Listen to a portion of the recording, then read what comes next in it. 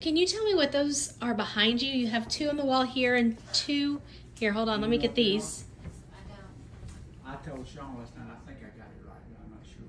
I don't know what they are. Okay, these are rug beaters. They're antique. Okay. All right, when back in the in the day, the ladies would take their rugs outside and hang them across a fence or whatever, and they would beat the dust out of them.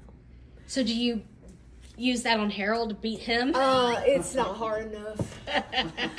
but I love these. I, I was going to collect a lot, and now they've gotten so expensive. People have decided it's something. told him, I thought it was flip.